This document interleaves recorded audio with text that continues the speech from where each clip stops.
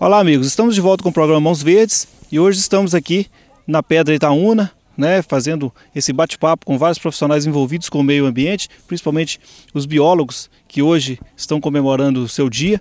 Mas aqui ao meu lado eu estou com o Anderson Siqueira, que é analista ambiental do IEF, e nós vamos trocar uma ideia com ele a respeito da campanha que está sendo desenvolvida pelo IEF, que começou agora nesse mês, a respeito do combate às queimadas e prevenção às queimadas. Gostaria que você falasse, Anderson, para os nossos telespectadores, com relação a essa campanha, quando ela iniciou, como ela está sendo aplicada aqui na região.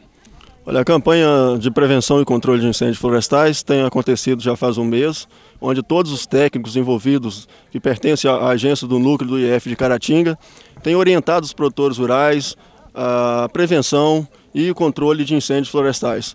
É, incentivando também as propriedades a fazer aceiros né, para poder evitar que, que as, as, florestas sejam queimadas. Assim, bacana. Então essa, essa hum, intervenção do IEF hoje com relação a essa campanha, ela abrange quais as regiões aqui do, do, do, em volta de Caratinga?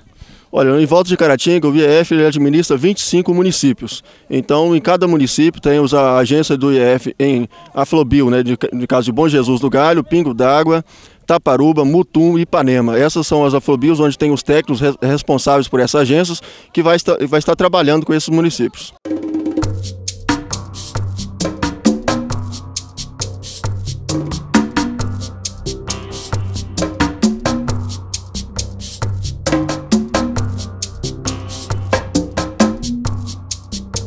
Nesse início de, de, de, campanha, vocês já, já, já estiveram presentes no campo? Vocês tiveram já algum foco de incêndio, algum incêndio criminoso? Vocês já presenciaram isso nesse ano? Porque apesar de estar iniciando essa campanha, vocês já presenciaram isso?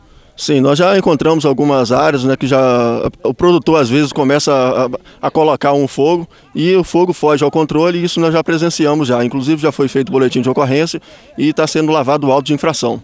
Assim, o IEF então ele tem esse, esse é, é, ele trabalha junto com a Polícia Ambiental nessa questão da fiscalização, ele tem também o poder de multar e, e ou só de fiscalizar. Qual é a função é, é, principal do IEF junto a essa campanha hoje?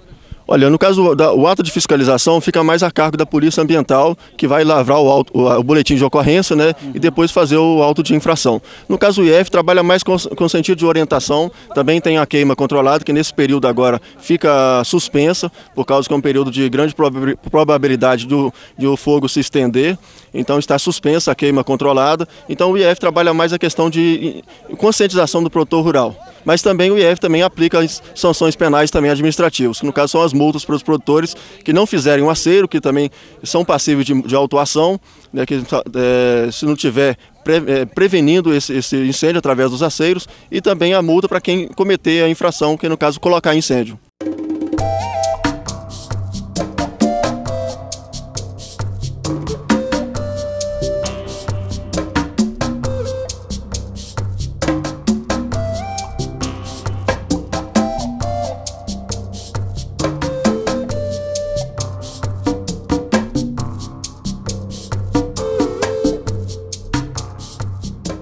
Aproveitando a presença do, do, Anderson aqui comigo, eu quero comentar com ele a respeito do, dos cursos que estão sendo aplicados aqui em Caratinga. Ele que é coordenador do curso técnico em floresta e do curso técnico em meio ambiente também.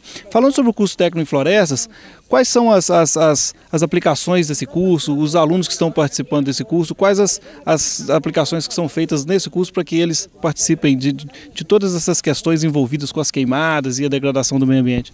No caso, a questão do ambiental hoje, o meio ambiente, está em voga, né, está na mídia. E no, no caso, no, no, Colégio Pial, o Colégio Pial do, da Rede Docton, e temos hoje duas turmas, uma turma de técnico em meio ambiente técnico em floresta, e todos eles estão trabalhando a questão de gestão ambiental, no caso do município de Caratinga, os municípios vizinhos, que tem vários alunos de outros municípios também. E no caso do técnico em floresta, nós temos trabalhado uma disciplina que é prevenção e controle de incêndios florestais. E todos os alunos estão aptos a saber controlar um incêndio florestal e prevenir e proteger.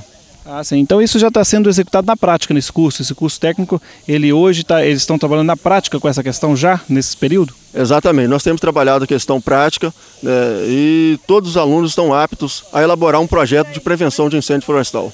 Ok. O curso técnico em meio ambiente a gente já já sabe que ele é um curso mais, né, parece que é o segundo ano dele. E quais são as perspectivas desse curso também? Tem muitos alunos, o pessoal está interessando em fazer esses cursos, estão atuando já nessa área, as pessoas, as pessoas que já formaram nesse curso? Olha, no caso hoje nós temos duas turmas, como eu falei, técnico em meio ambiente, que são 38 alunos, e técnico em florestas, que são 36 alunos. Então tem, tem tido uma procura muito grande pelo parte da sociedade. Ok, antes, eu queria agradecer a sua presença aqui no Mãos Verdes, agradecer a, a, a disponibilidade desse bate-papo e deixar o programa aberto aí a qualquer intervenção do IEF, qualquer coisa que vocês precisarem, nós estamos à disposição. Vamos continuar então com o programa Mãos Verdes no próximo bloco e eu conto com a sua presença.